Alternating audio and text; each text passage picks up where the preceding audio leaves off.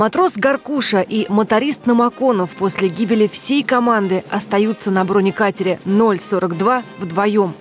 Выполняя приказ командования, они оказываются в тылу врага.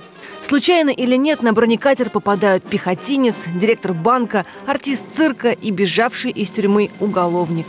Разные по характеру и наклонностям, они сошлись не сразу, но их объединила общая ненависть к врагу. Военная драма «Где 042» в пятницу вечером на телеканале «Самара ГИС».